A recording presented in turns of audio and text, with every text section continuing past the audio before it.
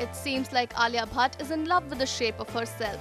The 24 year old actress took to Instagram and shared a boomerang video of her sweating it out at the gym. She captioned the video pull and push hashtag Yasmin's body image.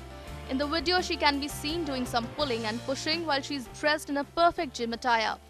The Dear Zindagi star had a great start to her year as her recent flick Badrinath Ki Dulhania proved to be a huge success at the box office. On the professional front, Alia Bhatt will be next seen in Ayan Mukerji's Dragon alongside Ranbir Kapoor.